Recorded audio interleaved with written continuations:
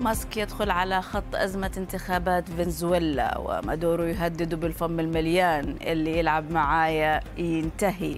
ورغم خروجها من الأولمبياد حامل في السابع تفجر جدلا حول البعثات المصرية. وجديد الحرب بين الديمقراطيين والجمهوريين إعلان ساخر لحملة هارس أهلا بكم.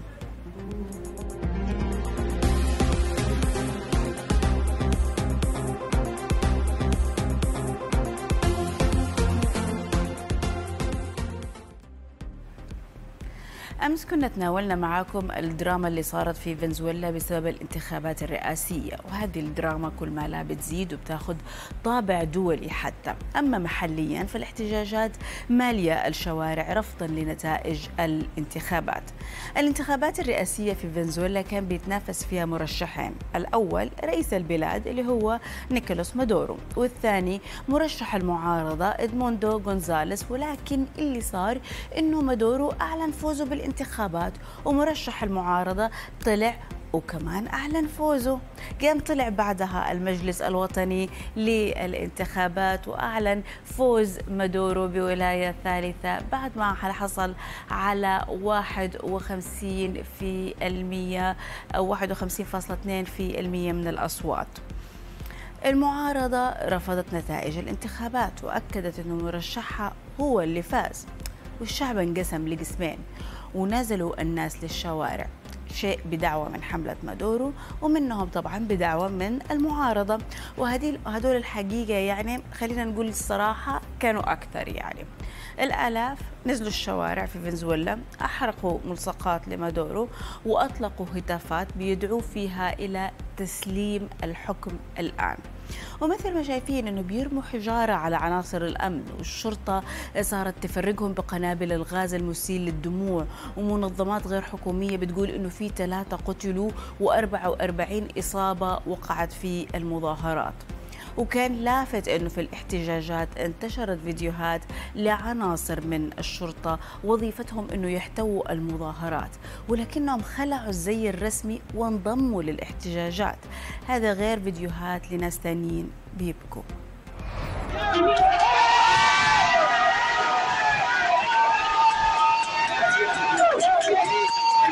وكمان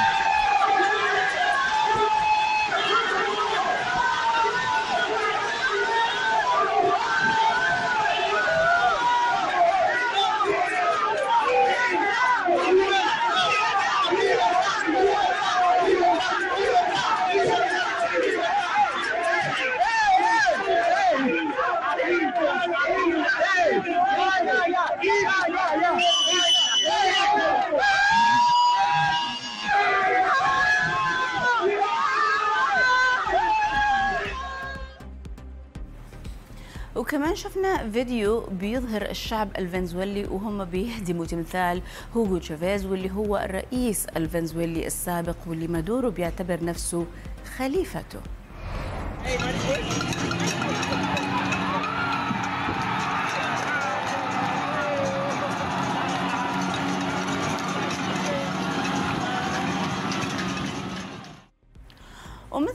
صرتوا تعرفوا يعني الملياردير الأمريكي إيلون ماسك بيحب يعلق على الشؤون الدولية فنشر كثير من الفيديوهات من اللي بيصير في فنزويلا ونشر الفيديو اللي لسه شايفينه من شوية وكتب عليه وداعا مادورو الدكتاتور. تعليق إيلون ماسك يعني ما مر مرور الكرام ومن الواضح إنه أثار غضب الرئيس مادورو كثير اللي طلع وهدد ماسك يعني بطريقة شنيعة وشديدة. Elon Musk, estás desesperado. Te fuiste de boca, Elon Musk. Contrólate, que te van a llevar al fracaso, igual que esta derecha llevó al fracaso a todos los políticos estadounidenses. Elon Musk, quien se mete conmigo, se seca. Quien se mete con Venezuela, se seca. Elon Musk. ¿Quieres pelea? Vamos a darle, Elon Musk. Estoy listo. Soy hijo de Bolívar y de Chávez. No te tengo miedo, Elon Musk. Vamos a darnos, pues, donde quiera, como decimos en Caracas, en los barrios. Si tú quieres, yo quiero, en los Musk. Di dónde. يعني معقول رئيس دولة جالس بيهدد ملياردير كده وبيقول له شوف فين تبغى تتحداني وفين تبغى نتواجه يعني كده إنه يعني زي تعالى آخر الصرفة يعني آه نتفاهم برا المدرسة يعني لو تعتقدوا إنه هذا السجال خلص غلطانين لأنه طبعا إيه، ماسك صعد ونشر فيديو تصريح مادورو وكتب عليه الحمار يعرف أكثر من مادورو وعمل له بن كمان على حسابه لهذا البوست. وترى كتب له هي بالإسباني كمان عشان يعني يفهمها ولا يعني تختلط عليه الأمور. ورجع بعدها وعقب بالإسباني كمان. وقال مع اعتذاري للحمار المسكين على تشبيهي لمادورو فيه هذه إهانة لعالم الحيوان. عموما اللي بيصير في فنزويلا مثل ما قلت لكم آخذ طبعا أبعاد دولية فحلفاء مادورو بيهنوه وبيباركوا له بالفوز وعلى رأسهم طبعا روسيا والرئيس فلاديمير بوتين اللي هنأ مادورو بالفوز. والكرملين قال إنه على المعارضة في فنزويلا قبول هزيمتها في الانتخابات الرئاسية. الصين كمان هنت وباركت وأكدت دعمها حتى إنه المتحدث باسم وزارة الخارجية الصينية أكد دعمهم لفنزويلا وقال إنهم دائما مهتمين بتطوير العلاقات الثنائية بين البلدين. بالمقابل طبعا شفنا كثار من البلدان اللي مشككة في الانتخابات وبتطالب إنه بالتحقيق والمراجعة للنتائج. وفي بيان مشترك مثلا طالب فيه وزراء خارجية الأرجنتين كوستاريكا الإكوادور غواتيمالا بنما بنما آه، باراغواي البيرو آه، دومينيكان أوروغواي. كل هذول طالبوا بوجود ضمانات بإنه نتائج الانتخابات صح وبتمثل كامل الإرادة الشعبية. العربية. وكمان شفنا دول مثل البرازيل وكولومبيا وتشيلي وأمريكا والاتحاد الأوروبي والأمم المتحدة كلهم بيطالبوا بالتحقيق من نتائج الانتخابات. وهنا طبعا لازم نقول إنه فنزويلا لها ثقل اقتصادي كبير يعني هي صاحبة أكبر احتياطي نفطي في العالم فيعني اللي بيصير فيها بيأثر في العالم كله. إحنا معانا من كراكاس تنضم إلينا الصحفية نور عيسى. أهلا فيك معانا آه، نور. يعني صراحة الموقف يعني يعني مخزي. الوصف حقه المناسب إنه هو مخزي هذا الانقسام اللي بيصير. كيف الأوضاع في الشوارع؟ لأي درجة بتعكس هذا الانقسام؟ مساء الخير. هلا بالذات ما نشوف عالم تبلش تطلع على الشوارع بعد دعوة من المعارضة ومن زعيم زعيمة المعارضة ماريا كورينا ماتشادو بعد ما امبارح آه، اعلنوا النتائج اللي هن حصلوا عليها من 73% من ال من وثيقات الأصوات الرسمية يلي لحد هلا مركز الانتخابات اسا ما اعلنوا والعالم بالطريق ما تطلب منهم إنه يعلنوهم لحتى هن فيهم ياكدوا ويعملوا تراجع لإحصاء الأصوات. إيه طيب الآن حاليا يعني الموقف واقف وين إذا استمر مادورو في إصراره واستمر وجوده في القصر الرئاسي هل ممكن الموضوع أنه يصير حرب حتى أهلية؟ ما بنعتقد تصير حرب أهلية لأنه مثل ما قالوا زعيمين المعارضة من أسبوعين الشعب هاني مانو مسلح اللي مسلحين هن آه، هو الجيش والعالم اللي مع الرئيس فمستحيل يصير حرب أهلية. okay. فهم في انتظار يعني المعارضة ما عندهم أي طريقة إلا أنه الضغط الدولي يسبب أو يخلي مدورو يتراجع. نعتقد هذه واحدة من الطريقات الثانية هي العالم اللي بالشوارع اللي عم تعمل. آه، بطريقة سلمية لازم نقول عن هذا الحكي لأنه أيام ال discourse تبع الحكومة بيقول عن العالم اللي بالطريق يلي هي ما تعمل أشياء آه، بال شو؟ آه، مش سلمة بس العالم هي حاملة بوستر وحاملي أيوه انه انه إنه عنف يعني بيكون. بس يعني حتى آه إيه. بس حتى الآن نور يعني في وفيات في إصابات يعني آه ما هي سلمية يعني تماما يعني. لا أكيد مش كله سلميا بس الإصابات وال والمتوفقين ما في أرقام رسمية لإلهم. هن نحن الصحفيين اللي بنحاول نحكي مع المستشفيات وناخذ كم شخص هن اي طيب أه، طبعا أنت ذكرتي إنه الناس اللي في الشوارع ممكن يكونوا وسيلة ضغط وطبعا ضغط أه، خلينا نقول يعني الانترناشونال أو العالمي من الدول الأخرى. بس في نفس الوقت يعني مادورو برضو ليس شخص سهل يعني في كل الأحوال ممكن يتمسك بالسلطة خصوصا إنه عنده الدعم الروسي وعنده الدعم الصيني أيضا. طبعا آه، مثل ما ما يقولوا كل الاخصائي آه، هاني فنزويلا إنه مادورو ما قال أو ما عمل إنه المجلس الانتخابات يعمل إنه هو الربحان لحتى بعد يومين يطلع يقول إنه هو الخسران. صح. آه، هني هلا مثل ما قلتي من شوي هني بدهم يتمسكوا على سلطة البلد.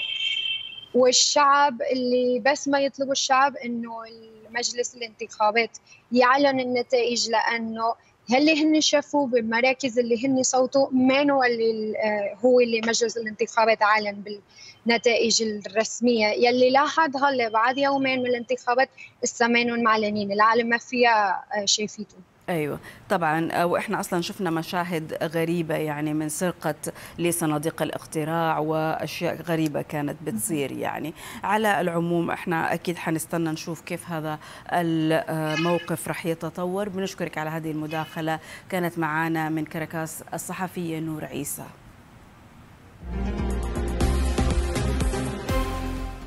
أهلا من جديد. ندى حافظ لاعبة مبارزة مصرية عمرها 26 سنة. كانت مشاركة السنة في الأولمبياد للمرة الثالثة بعد مشاركتها في أولمبياد 2016 وأولمبياد 2021 ندى في أولى مبارياتها فازت على الأمريكية إليزابيث تارتاكوفسكي تارتاكوفسكي وتأهلت إلى الدور السادس عشر للمسابقة. وواجهت اللاعبة الكورية الجنوبية جيون هايونج لكنها خسرت أمامها. ندى وبعد خروجها من الأولمبياد فجرت مفاجأة عبر حسابها على إنستغرام وكشفت أنها شاركت في الأولمبياد ولعبت المباريات الثلاث وهي حامل وفي الشهر السابع كمان. وقالت في ال post إنه اللي شايفينه أمامكم كنتوا تعتقدوا إنه لاعبتين اثنين ولكن إحنا ما كنا اثنين إحنا كنا ثلاثة. أنا ومنافستي وجنيني اللي في بطني. وقالت إنه الحمل لوحده تحدي فتخيلوا محاولة الموازنة بين الرياضة والحمل وكمان المشاركة في الأولمبياد وقالت إنها فخورة بإنجازها. بوست ندى نزل من هنا وطبعا بدأ الجدل من هنا بين ناس بتحييها على الإنجاز وبتقول إنه واو يعني إنه هي لعبت وهي حامل وحتى طلعوا أسماء لبطلات أولمبيات نافسوا وهم حوامل. بالمقابل طلعت أصوات ثانية مستهجنة وقالت إنه هذه مخاطرة وإنه اللي عملته مشكلة. بعضهم حتى وصفها بالجريمة. وفي ناس ثانية تساءلت هي اللجنة الأولمبية عارفة وسمحت لها هو أصلا ينفع قانونا تلعب وهي حامل؟ طب هي خبت ولا إيش؟ يعني كان في مية سؤال ورأي الصراحة.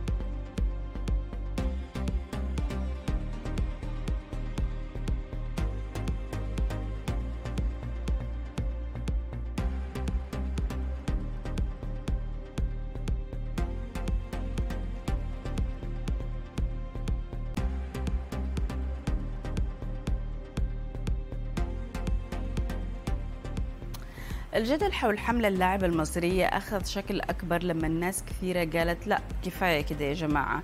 إيش كل هذا التحطيم اللي جالسين بتعملوه للبعثات الأولمبية؟ ترى المفروض أنكم تشجعوهم. إحنا معانا من الساحل الشمالي الصحفية الرياضية ريم أبو الليل. أهلا فيكي معانا آه، ريم. ريم أنت قبل دقائق يمكن شاركتي ستوري على إنستغرام ببعض البطلات اللي فازوا في الأولمبياد قبل كده وهم كانوا حوامل. فيبدو أنه أنت مو معارضة لفكرة مشاركة الحامل يعني. شكرا يا سارة للاستضافه اولا آه سارة أنا شايفة إن إحنا ما عندناش معلومات كفاية. الناس فعلا بتحكم جامد جدا. وما حدش عارف ليه.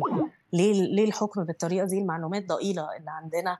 آه زي ما حضرتك قلتي في سيدات كتير جدا نافسوا قبل كده وهو حوامل سيرينا ويليامز كسبت ال Australian Open بطلة استراليا آه بطولة أستراليا المفتوحة وهي حامل. آه زي ما قلت أنا لسه حاطة على الانستغرام ما لا يقل عن 12 سيدة. في الرياضات عمرك ما تتخيل ممكن يبقوا حامل ويكسبوا فيها. أيوة. beach ودي ناس مش بس نافسوا دي ناس كسبت ميداليات. في ال ice hockey في الاولمبيات الشتوية. في ال speed skating في ال beach volleyball كرة الفولي الشاطئية حاجات عمرنا ما نتخيلها. في الغطس يعني في الآخر بالذات recently لاقيين إنه بيقولوا إن الناس الرياضيين اللي هم حامل دي حاجة كويسة ليهم إن هم يمارسوا ال exercise هي أصلا ندى طبيبة فلو هي عارفة إن هي تقدر تنافس هي أطاحت برقم سبعة على العالم. وندى اللاعبة الأفريقية مش بس المصرية الأفريقية الوحيدة اللي تصنيفها في ال top 30 على العالم. okay. ف إحنا بنحكم ليه؟ إحنا ما نعرفش اللجنة الاولمبيه كانت عارفة ولا لأ. إحنا ما فيش زي ما قلتي ما فيش أي قانون يمنع ده. في ناس okay. كتير قبل كده نافسوا كسبوا. فبنحطم البنت ليه؟ يعني أنا أنا لحد دلوقتي مش فاهمة التس... يعني ممكن نسأل أسئلة إنما الناس للدرجة دي تقول إنها جريمة بصراحه مع... وكتير معلش لو كتير منهم هتلاقي إنهم رجالة اللي هم لا يفقهوا أي شيء عن إحساس إن حد يكون حامل أصلا. امم امم لا هذه أيوه نقطة مهمة هذه لأنه يعني هم وقتها بيعتقدوا إنه خلاص حياة الحامل لازم تنتهي. وهي أكيد عندها يعني فريق غير إنها هي طبيبة أكيد عندها فريق طبي يعني بيتابعوها يعني ومدرب وما إلى ذلك يعني أكيد. أكيد هي مش لا عايزة تضر نفسها ولا تضر طفلها. آه في لاعبه بريطانية برضو في الاولمبيات اللي إحنا فيها دي اسمها امبر راتر آه هتنافس في ال shooting خلفت من ثلاث شهور بالظبط. طب ما هي جاية الاولمبيات أكيد كانت بتتمرن لحد ما خلفت مش جاية من غير ما تتمرن صح ولا لأ؟ صح. وعادي وهتنافس في ال shooting في ال skeet shooting. ف الناس مش فاهمة هي بتتكلم عن إيه. الطب تطور جدا جدا جدا في أيوه. حاجات كتيرة لا دي اللي دوبها ولدت لازم تكون جالسة نفسا في بيت أهلها. تعرفي المشهد التقليدي ده. إحنا فعلا في حاجات ما نعرفهاش يا سارة وأنا مش طبيبة عشان أطلع أقول ده ولا ده. صح. إنما أنا واحدة صحفية رياضية بغطي أولمبياد بقالي 14 سنة كل اللي بقوله إن اولا نعرف المعلومات الأول. آه، تاني حاجة مستحيل هي تكون عايزة تضر نفسها. وتالت حاجة البنت نفست. وهي نرجع ونقول أول أفريقية مش مثلا خدت مكان حد تاني كان أيوة. ممكن يروح وهو فدي حاجات كتيرة قوي الناس بتتكلم فيها وهي مش فاهمة قوي هو ده المكان اللي هي بتستحقه يعني. طب بشكل عام ريم يعني اسمحي لي بهذه الملاحظة وقولي لي رأيك فيها. من أول ما بدأت الألعاب الأولمبية وفي كمية انتقادات كبيرة للابطال المصريين اللي مشاركين والبعثة الأولمبية إيش رأيك في هذا الانتقاد؟ أنا شايفة الموضوع ده ابتدى جامد قوي في اولمبياد طوكيو ودلوقتي ما بقالناش ثلاث أيام في الأولمبياد وشايفة إن زي ما تقولي في يعني دوشة جامدة جدا على الانتقادات non-stop أنا اتكلمت معاكي actually قبل كده لأن أنا سبب اللي عملت البودكاست بتاعي أبطال كان عشان كده. شفت الناس بتنتقد اللعيبة من غير ما يعرفوا رحلتهم ومشوارهم في الرياضة. صح. آه في حاجات كتير ما نعرفهاش بدليل إن في واحدة طلعت حامل في السابع وإحنا مش عارفين. لكن أنت تخيلي بقية الرياضيين حد جاي من إصابة حد بعدين دايما السبب اللي الناس بتقول إن هم بينتقدوا إنه آه دول مصروف عليهم اموال طائلة آه في الإعداد. مين قال كده؟ إحنا عارفين كويس قوي قوي قوي اتحاداتنا وبلدنا عاملة إزاي لأن ما فيش أموال طائلة تتصرف أصلا. فكتير جدا من اللعيبة اللي أنا بتكلم معاهم دايما بيقولوا لي إحنا صارفين على نفسنا وعملنا كده وعملنا كده وكنت بستلف من من عيلتي كلها عشان أروح البطولة وأعمل. فهي الناس دي تعبت قوي وتعبت بمجهود ذاتي قوي على إن هم عشان ما حققوش نتيجة نعملهم بالطريقة دي. طبعا في حاجة اسمها accountability إن إحنا نقول أيوة. لأ نعمل نشوف نعمل انفستيجيشن نحاول نفهم محاسبة وتحقيق. بس ريم تعتقدي غضب الناس موجه للرياضيين أكثر ولا موجه للجنة الأولمبية؟ انه هم كانوا عندهم توقعات كثيرة من اللجنة الأولمبية من ناحية تأهيل الأبطال من ناحية إنه بيشوفوا كمان دول أخرى إيش بتسوي يعني لأبطالها يعني. بصي يا سارة الصح إن إحنا فعلا نبص على المسؤولين أكتر من اللعيبة لأن إحنا المنظومة نفسها مش دايما مظبوطة. فلأ أنا شايفة الهجوم شخصي جدا والكلام اللي بيتقال شخصي جدا على الرياضيين وفي حاجات مش في محلها. بجد في حاجات مش محلها في حاجات الناس مش فاهماها. إحنا مصر بعت 160 لاعب كتير من اللي متأهلين عندنا هم أبطال أفريقيا. أفريقيا مستواها في رياضات كتير مش زي بقية العالم. حاجة بديهية إنك لو تأهلت من أفريقيا ورحت بره مش شرط إن أنت تعرف تنافس.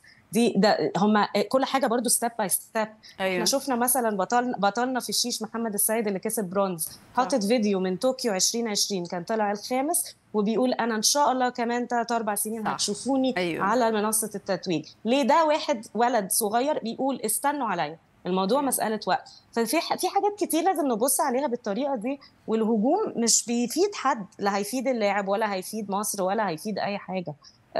الموضوع زايد عن حده بصراحة. امم طيب خليني كمان يعني يمكن نقول للناس إيوه يعني يصبروا شوية على على الأبطال وعلى الأقل الانتقادات ما تكون شخصية بهذه الطريقة لأنه فعلا الموضوع أكيد بالنسبة لهم يعني محبط. هم بيكونوا يعني أكيد عندهم طموح إنهم يحققوا الأفضل ولكن يعني هي مسألة صعبة. تأهيل التأهيل للأولمبياد يعني مسألة صعبة وتحتاج لدراسة كبيرة يعني للمنظومة ككل يعني. لكن على العموم ومع ذلك مصر يعني أعلى دولة عندها ميداليات يعني عربيا. في الأولمبياد يعني أكثر من 30 ميدالية مع كل هذه الصعوبات. فإذا يعني كمان تحسن الموضوع وتعدل يعني فإن شاء الله كمان الأرقام بتكون أكبر. على العموم بشكرك جدا على هذه المداخلة. كان معنا من الساحل الشمالي الصحفية الرياضية ريم أبو الليل. شكرا لك.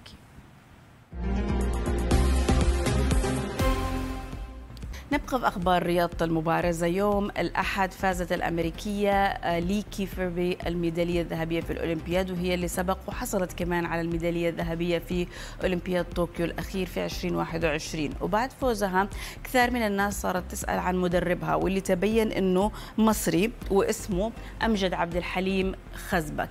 ومن ساعتها اسم المدرب فيكم تقولوا مالي المنصات ناس مبسوطة وحاسبته إنجاز مصري رغم أنه الميدالية لأمريكا. أمريكا وناس تانية بتقول إنه ليه هو بيدرب في أمريكا؟ والمفاجأة كانت لما اتضح إنه المدرب كان قبل بيدرب الفريق المصري وبعدين ترك وراح على أمريكا. والناس قالت واضح مدرب شاطر ومحقق ذهب في هذه الأولمبياد واللي قبله كمان.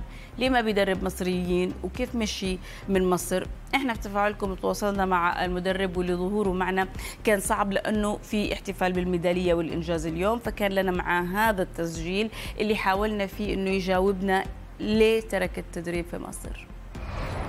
أنا رحت أمريكا سنة 2003 والسبب إن أنا رحت أمريكا إن أنا كنت بشتغل في الفريق القومي المصري لسنين كذا مرة وكذا مرة الاتحاد استغنى عني. فأنا بحب السلاح وبحب التدريب وبحب إن أنا أبقى مدرب فريق قومي وأمثل البلد. بس لما الاتحاد استغنى عني كذا مرة فاضطريت إن أنا أسافر أمريكا سنة 2003 لظروف معينة عينوا مدرب أقل مني في المستوى وأنا طبعا ما كنتش حابب الموضوع دوت. أنا لو كنت مدرب فريق قومي استمريت في مدرب كفريق قومي المصري كنت مش هسيب البلد وكنت هستمر في التدريب. لكن حسيت ان إن أنا مضغوط ولازم أثبت نفسي فقررت إن أنا آه، أسافر آه، سنة 2003 بس هو ما كانش ليه نتائج زي النتائج اللي أنا عاملها. أنا عملت نتائج دولية كتيرة جدا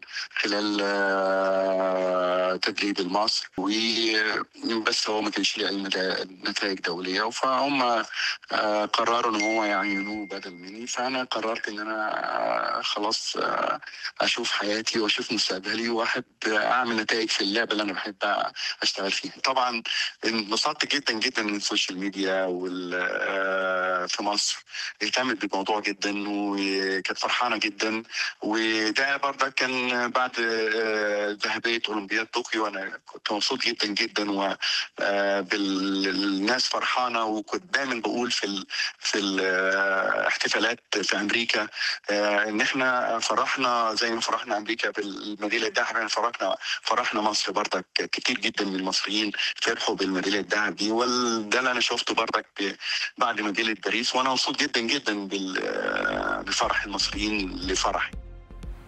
وعلى فكرة خلال حديثنا مع المدرب المصري سألناه عن رأيه في موضوع اللاعب الحامل والجدل خاصة وإحنا إنه إحنا بنتكلم يعني عن نفس الرياضة فهذا كان رده هو طبعا رأي طبي أهم حاجة لا أنا أنا مش دكتور هي دكتورة آه، هي اللي كان تاخد ال- القرار آه، آه، تفهم أكتر في إنها آه، تقدر آه، تعمل الموضوع دوت ولا لأ. أنا لسه عارف النهارده الموضوع دوت امبارح لسه عارف الموضوع دوت إن في يوم البطولة وأنا كنت بتفرج عليها وهي بتلعب كسبت رقم سبعة العالم وهي أمريكية وده نتيجة كويسة جدا. وبعد كده آه، خسرت من دور ال 16 اللعيب آه، هي لعبة فردية لعبة فردية أنت ما تقدريش تتحكمي أو تسيطري على كل حاجة. اللعيب ال- ال- يا- ياخد ديسيجن ياخد قراره بنفسه آه، ده مختلف عن اللعبة الجماعية. ما أقدرش أقول الكلام دوت على واحدة مثلا بتلعب لعبة جماعية. ما أقدرش أخد واحدة حامل مثلا في فريق basket. فلا دي دي لعبة جماعية. آه، إحنا عندنا برضك في السلاح لعبتنا ما فيش body contact ما فيش التحام بالجسم. فهي كدكتورة عارفة إن ما فيش التحام في الجسم أنا بقى مجرد ألعب بالسيف ما ما فيش ما فيش خطورة عليا. هي اللي تقدر تحددها أكتر من أي آه، حد ودكتور هو اللي يحدد أكتر من أي حد. والنتيجة زي عمليتها تكسب رقم سبعة ده نتيجه كويسة جدا. التلوث في نهر السن من أبرز العقبات اللي بتواجه أولمبياد باريس واللي تأثيرها صار واضح وما في نقاش يعني فمن بعد انطلاق أو من بعد يوم من انطلاق الألعاب الأولمبية بدأت المشاكل وشفنا أنه بسبب التلوث في النهر تم إلغاء الحصة التدريبية الأولى في السباحة لمتسابقي الترايثلون. ورجعت أمس كمان اللجنة المنظمة لأولمبياد باريس ألغت الحصة التدريبية الثانية للاعبين والسبب نفسه. والكثار خايفين منه ويعني الموضوع كبر أكثر كمان بعد ما كان إلغاء تدريبات الآن تحول التأثير عشان أنه وصل للمسابقات نفسها. يعني ما عاد الموضوع حصص تدريبية بل منافسات فعلية لأنهم أعلنوا عن تأجيل منافسات الترايثلون للرجال اللي كانت مقررة اليوم أجلوها لبكرة. وقالوا أنه بكرة حيلعبوا الرجال الساعة 10:45 آه، والستات قبلهم الساعة 8 الصباح. البيان قال كمان أنه بكرة إذا المستويات فضلت متلوثة كده فحيتأجل السباقين الرجال والنساء للجمعة. وإذا الجمعة كمان فضل ملوث فحتتلغي جزئية السباحة من المنافسات ويتنافسوا اللاعبين في سباق يعني ثنائي بس. بس, بس يعني خلينا أذكركم هنا أنه ترايثلون رياضة بتنافسوا فيها اللعيبة ثلاث رياضات سباحة ركوب دراجات وجري. فما عاد حيشيلوا لهم السباحة يلغوا لهم الفقرة دي من المنهج المهم موضوع تلوث السن يعني فعلا أزمة بتعاني منها الحكومات الفرنسية المتعاقبة من سنوات طويلة يعني. من أيام الرئيس الراحل جاك شيراك كان رئيس بلدية باريس في سنة 90 وهم شغالين مشاريع عشان تنظيف النهر ده ولما قالوا إنهم حيستضيفوا الأولمبياد زادت المخاوف أكثر وأكثر من تلوث النهر. ووعدوا إنهم يحلوا الموضوع وتم إنفاق أكثر من مليار و400 مليون يورو لاحتواء أزمة تلوث النهر. والمفروض إنه انحلت. وقبل الأولمبياد لو تذكروا شفنا عمدة باريس ووزيرة الرياضة بينزلوا يسبحوا في النهر علشان يثبتوا للكل أنه الموية صارت نظيفة. وقالوا كمان أنه في يونيو الجاي في ثلاثة مواقع في السن حتفتح للناس. لكن كل هذا يبدو ما مشي حاله. فلما مطرت الدنيا شوية رجعت فاضت أنظمة الصرف الصحي وتلوث النهر. خلينا نشوف الفيديو التالي.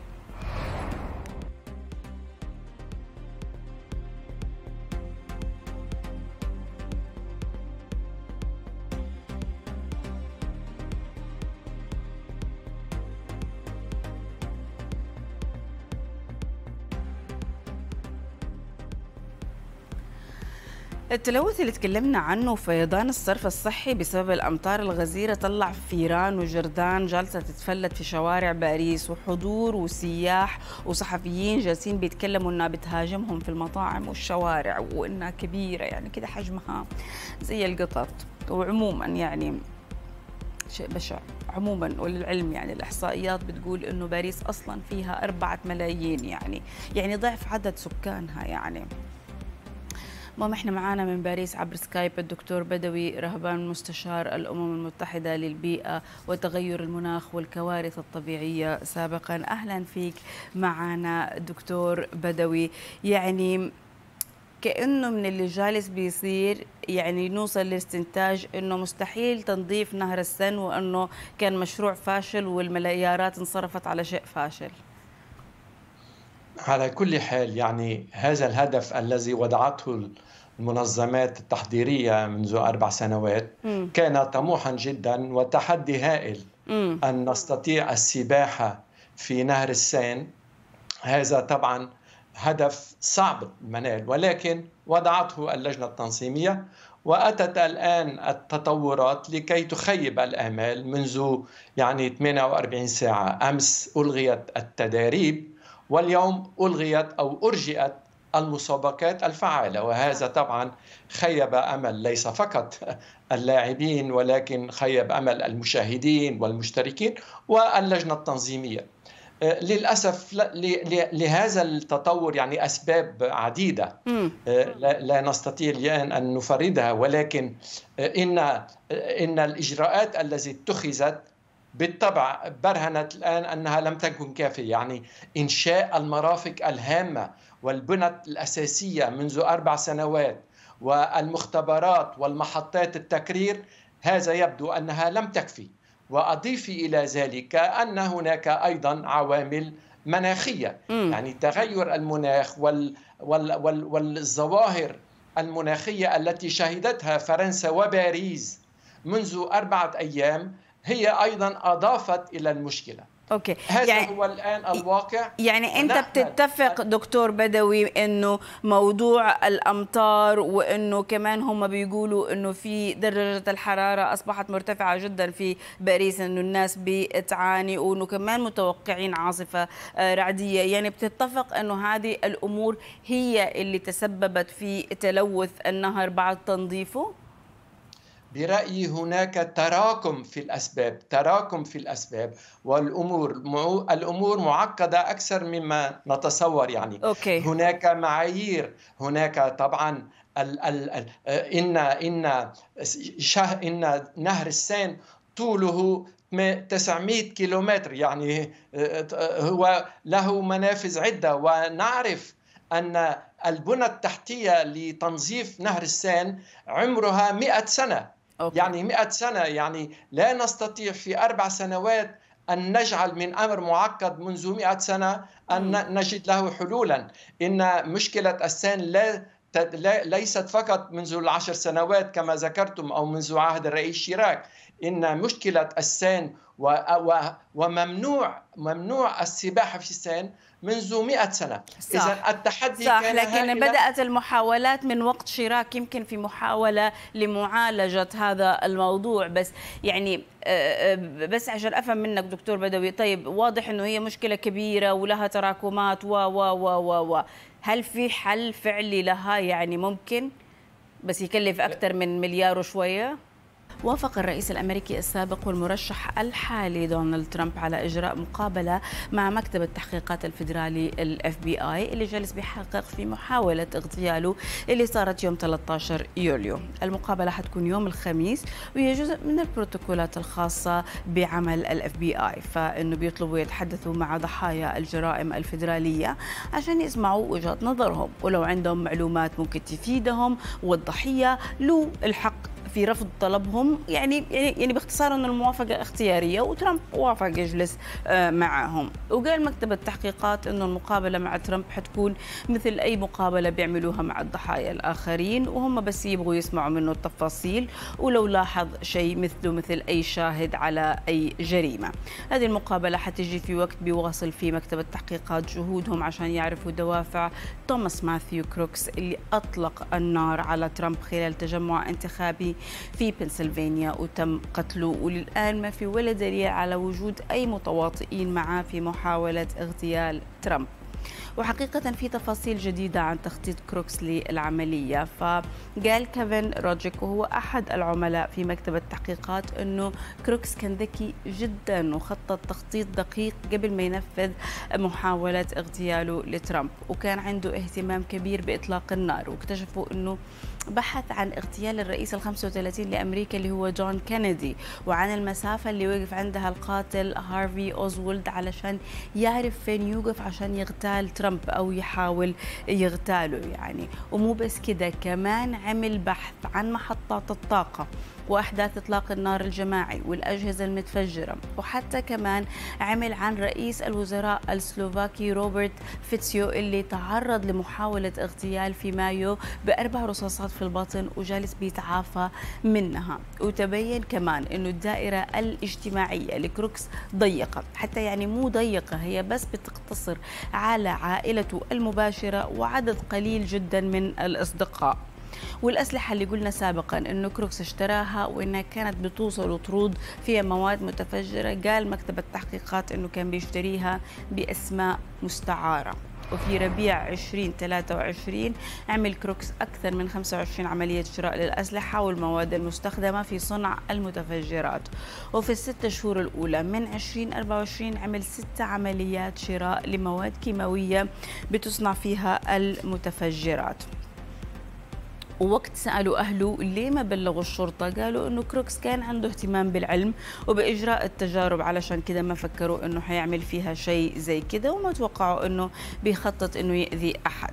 هذه المعلومات الجديدة بخصوص تخطيط وتجهيز كروكس للعملية. أما الجديد في اللي صار قبل ساعات من تنفيذه لمحاولة الاغتيال واللي بيثبت الفشل الأمني اللي ترتب عليه استقالة مديرة الخدمة السرية بسببه فقيل أنه في أحد القناصين اكتشف كروكس قبل ساعة ونص وكان واقف خارج المنطقة المسيجة اللي حيلقي فيها ترامب خطابه وكان حامل بندقيته وتم التقاط صوره له ونشرها على group مشترك مع أو قام بنشرها هذا الشخص على group مشترك مع زملائه وضباط آخرين. ونشر رسالة كمان أنه لازم يبلغوا أفراد الخدمة السرية عنه وحددوا كروكس على أنه شخص مشتبه فيه. وفضلوا يراقبوه لحد ما شافوه بعد 30 دقيقة بيستخدم جهاز تحديد المدى وبيتصفح مواقع إخبارية.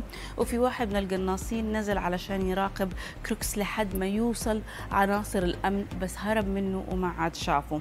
إلى قبل 20 دقيقة من إطلاق النار شافوا شرطي عبر كاميرته وهو بيمشي على سطح المستودع وبعدين صار اللي صار. خليني كمان أعطيكم صدمة إضافية. يعني كروكس اتضح أنه سبق الخدمة السرية وعمل جولة وفحص المكان قبل ما يجوا يفحصوه هم بخصوص التجمع الانتخابي. وما ننسى أنه كروكس كان أطلق طائرة مسيرة كمان قبل أيام عشان يستكشف المكان. يعني شاف المكان أرضا وجوا وما أحد منعه. وأكيد الكل لازال متذكر صورة ترامب التاريخية اللي غزت المنصات ووسائل الإعلام خلال محاولة اغتياله. وهي هذه الصورة اللي شايفينها أمامكم الآن واللي تم استغلالها تجاريا. شفناها على التيشيرتات تاتوهات كمان. وحولت ترامب لبطل قومي وصارت كلمة fight اللي هو كان بيقولها وقتها شعار وطني عند أنصاره. الصورة هذه بالتحديد ومحاوله اغتيال ترامب مسببة انتقادات كبيرة واتهامات لشركة ميتا. إنها بتستهدف ترامب. ترامب وبتفرض رقابة على المحتوى المتعلق فيه وبتحاربه فبالنسبة للصورة فالمستخدمين اللي شاركوها لقيوا إنه فيسبوك بيرسل لهم إنهم جالسين بيشاركوا معلومات مضللة وصورة تم التلاعب فيها وما سمحوا بنشرها وهددتهم الشركة بحذفهم من المنصة. هذه الرسالة اللي شايفينها أمامكم الآن واللي بتبين رسالة من متى أنه الصورة تم تعديلها وأنها صورة مو صحيحة وأنه تم التلاعب فيها وأنه جعل أفراد الخدمة السرية مبتسمين حول ترامب خلال محاولة الاغتيال. هذه الصور اللي نشروها مستخدمين رد عليها المتحدث باسم متى داني ليفر واللي اعترف بخطأ متى علنا واعتذر عنه كمان. فنشر بوست قال فيه إنه اللي صار كان خطأ وإنه تم تطبيق عملية تحقق من متى وقال إنه متى طبقت عملية تحقق على صورة مشابهة تم التلاعب فيها بتبين أفراد الخدمة السرية وهم مبتسمين. والأنظمة اللي طبقتها الشركة ما كانت صحيحة واعتذر عن الخطأ. أما بالنسبة لمحاولة الاغتيال ففي مستخدمين كده يعني من هدول اللي غاويين مشاكل كده راحوا على برنامج الدردشة الآلي اللي هو تبع ميتا اي آي وسألوه عن محاولة اغتيال ترامب. وكانت الإجابة أنه مو متوفرة معلومات عن محاولة الاغتيال. أما لما سألوه عن حملة المرشحة المحتملة لمنافسة ترامب كمالا هاريس جاوب بمعلومات دقيقة ومفصلة. ونفس المستخدمين سألوا البرنامج ليه عنده معلومات عن كمالا وما عنده معلومات عن ترامب؟ فقال إنه محاولة اغتيال ترامب حدث خيالي وحملة كمالا هاريس حدث حقيقي ومستمر. كمان متحدث باسم متى طلع واعترف بالمشكلة وقال إنه في مشكلة في البرنامج والعمل جاري على تصحيح الأخطاء اللي فيه. هذه الأخطاء يعني الناس ما اعتبرتها صدفة وقالت ليه يعني الأخطاء التقنية مو مرتبطة إلا باسم ترامب بالتحديد؟ وما صدقوا اعترافات الشركة. وعلى فكرة مو بس متى حتى جوجل بيواجه انتقادات. فبالعادة في شيء اسمه إكمال تلقائي يعني يكون في مربع البحث وقت ما نكتب شيء. معين بس هذا الإكمال التلقائي ما بيكون متوفر خلال طلب البحث عن محاولة اغتيال ترامب. فبيحتم عليك جوجل إنك تكتبها يدويا كده كاملة وتضغط بحث علشان تطلع لك النتائج. وهذا الشيء ردت عليه الشركة وقالت إنها بتوفر أو إنه أنظمتها بتوفر حماية ضد التنبؤات التلقائية اللي بترتبط بالعنف السياسي. ومين أفضل من الملياردير؟ طبعا إيلون ماسك يهاجم منصة معينة أو محرك بحث معين خاصة إنه هو يعني صار من أهم أنصار ترامب. قام راح شارك صورة لأحد المستخدمين اللي بيسخر من رد جوجل إنهم ما بيروجوا للعنف السياسي ومجرد ما بيكتب محاولة اغتيال بيطلع له عدة نتائج إلا محاولة اغتيال ترامب. ومو بس كده ماسك شارك كمان لصورة وهو بيبحث عن اسم الرئيس ترامب وبيطلع له في النتائج حتى شفنا أكثر ما بيطلع له في النتائج حتى ما بيطلع له ابدا في النتائج. وبعدين شفنا أكثر من بوست عن نتائج بحث للمستخدمين عن اسم دونالد ترامب والنتائج مطلعة معلومات ونتائج عن كمالا هاريس. ترامب بنفسه من ساعات علق على اللي جالس بيصير وقال إنه متى وجوجل اعترفوا بفرض رقابة خاطئة على صوره ومعلوماته واعتبر هذا الشيء محاولة لتزوير الانتخابات. بس ترامب قال إنه هذه المرة حنكون أكثر حكمة وصعب على أي أحد يزور الانتخابات. وبما انه تكلمنا عن ماسك ما نقدر ما نجيب سيره الهجوم والاتهامات اللي جالس بيتعرض لها من بعد ما شارك فيديو للمرشحه المحتمله كمالا هاريس وقيل انه الفيديو مو حقيقي ومعمول بالذكاء الاصطناعي. I, Kamala Harris, and your Democrat candidate for president because Joe Biden finally exposed his senility at the debate. Thanks, Joe. I was selected because I am the ultimate diversity hire. I'm both a woman and a person of color. So if you criticize anything I say, you're both sexist and racist. I may not know the first thing about running the country, but remember, that's a good thing if you're a deep state puppet. I had four years under the tutelage of the ultimate deep state puppet, a wonderful mentor, Joe Biden. Joe taught me rule number one carefully hide your total incompetence. الفيديو اللي شفناه سوا هو نفس الفيديو اللي نشرته هاريس وقت ما أعلنت ترشحها للانتخابات الرئاسية بس المحتوى تم التلاعب فيه. فهاريس في الأول أو في الأساسي يعني تكلمت عن أهداف حملتها الانتخابية. أما الثاني فتكلمت فيه عن أنه بايدن اختارها لأنها امرأة سوداء وأنه أي شخص ينتقدها فهو متحيز جنسيا وعنصري كمان. وتم نشر الفيديو أول مرة على حساب Mr Reagan USA وكان عنوانه إعلان ساخر لحملة هارس. قام شاركه إيلون ماسك ونشره على حسابه وجاب أكثر من 130 مليون مشاهدة. حملة هارس احتجت طبعا واتهمته بنشر أكاذيب تم التلاعب فيها وقاموا عليه الديمقراطيين اللي اتهموه بانتهاك تعليمات المنصة اللي هو مالكها طبعا وقالوا إنه المنصة تعليماتها بتمنع نشر وسائط تم التلاعب فيها علشان ما تخدع الناس وتأذيهم وإنه حتى حسابات البارودي اللي سمح فيها ماسك كان فيها شرط إنه ما تسبب ضرر ولا بلبلة لأحد أحد. فكيف أنت يا ماسك جاي تنشر هذا الفيديو؟ الجمهوريين وصفوا طبعا الهجوم على ماسك بالغبي أما ماسك فرد ببوست هو كمان وقال إنه يا جماعة أنا شيكت مع البروفيسور العالمي وحط لهم يعني كده اسم من تأليفه بيلعب فيه على الكلمات وحقيقة هو كتب لهم شتيمة يعني. وقال آخر شيكت مع هذا البروفيسور قال لي إنه السخرية مسموحة في أمريكا. يعني إنه كأنهم بيقولوا إنه حتى النكت ما بتفهموها يعني كمان. على العموم مشاهدينا إحنا وصلنا لنهاية حلقة اليوم. أنا أعود والقاكم غدا إن شاء الله في حلقة جديدة من تفاعلكم. ادعوا لي صوتي يتحسن. في أمان الله.